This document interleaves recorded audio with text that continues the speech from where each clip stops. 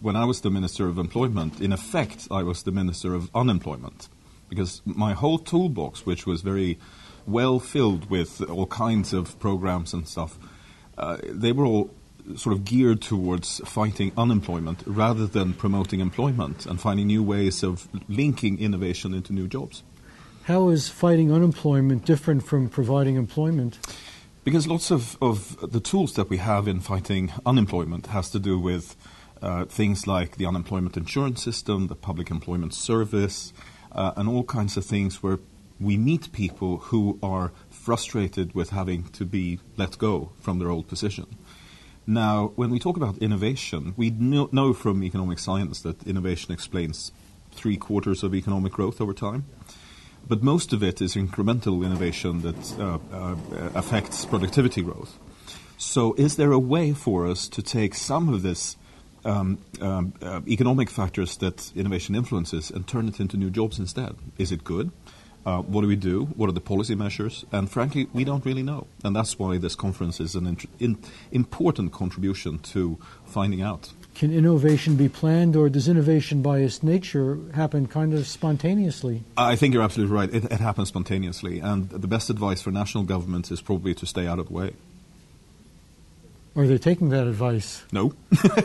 no, and that's the problem. Because since um, we, there's very little research done in economics on the, this connection between innovation and jobs.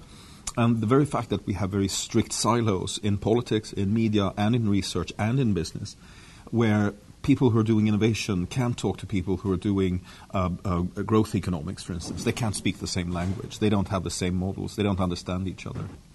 When we talk about government policy, there's often a factor of uh, risk avoidance. Hmm. Like, uh, you don't know that the thing will work, maybe it will, but how much risk are you willing to take? especially in a place where you might get voted out of office. You're absolutely on the spot. I think that's the, the, the real problem that. I mean, I'm a recovering politician. I know exactly what you're talking about. Every politician wants to become re-elected. That's the whole point, right? So you have a, a sort of a four-year time horizon where you um, uh, look at what you can do to, to maximize your outcome in four years. Th- and that's an issue because lots of the things that we believe are important for innovation leading to job creation. Things like education, for instance. Now, if you do changes to the educational system today, I mean, the, the real effects of that aren't seen until 10, 20 years from now. So um, there are very small incentives for politicians to do the real structural reforms that are needed. What do you think is the most pressing problem facing Western civilization today? oh, gosh. Uh, there are quite a few. Um, certainly, um, the fiscal problems that many countries fight right now is an immediate problem because if that isn't solved, um, our economies will you know, come to a halt. Uh, and if that happens, um, people aren't getting the pensions or the health care and, or the schooling that, that they are accustomed to or want. And that is a real problem because if that happens, that will probably lead to um, in, in not perhaps next year, but uh, along the line, riots, uh, people feeling disenfranchised from, from society. Uh, you find xenophobia, everything that we do not like. Revolutions? absolutely. Uh, absolutely, that that could happen. It's it's not. I mean, it's far away right now, but you never know. If you have like in Spain, where you have youth unemployment over fifty percent, I mean, it's a wonder that they haven't that you haven't seen more uh, fighting in the streets. To be honest. Are you optimistic that things are moving in the right direction and that if enough people work on the problem, maybe uh, they'll get a handle on it before it swamps us?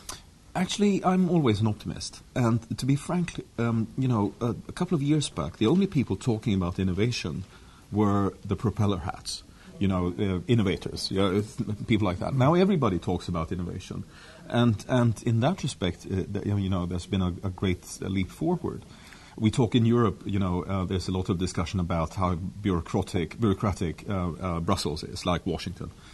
But to be frank, in Europe, we've thrown bombs at each other for a thousand years. Now we throw papers. I mean, it's a major leap forward.